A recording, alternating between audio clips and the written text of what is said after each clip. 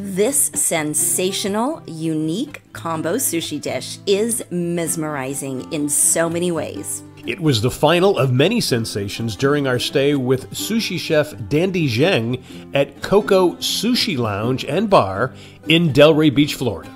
This is a must if you're in Florida's Gold Coast region near West Palm Beach. We began with this incredible roll called Triole Sexy. The sexy threesome of sushi was yellowtail, tuna, and salmon. They were blended and rolled with asparagus, mayo, spicy miso, crispy rice, and eel sauce. Then topped with seared tuna. It was a great kickoff. Now, for drinks, we had two of their favorites. First is the Blackberry Mule, made with, you guessed it, vodka, fresh blackberries, and ginger beer.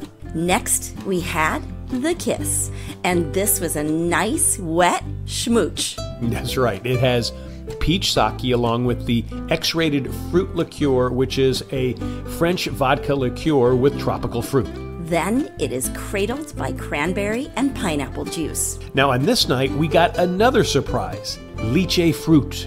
Yes, we were yearning for more, so next we had the sushi sashimi four ways. We had four pieces of sushi, four pieces of sashimi, a classic roll, and a tartar appetizer. They also used the combo of tuna, salmon, and yellowtail. You get your teriyaki and wasabi perfect and just relax and savor every mouthful. And then Chef Dandy saved his best for last.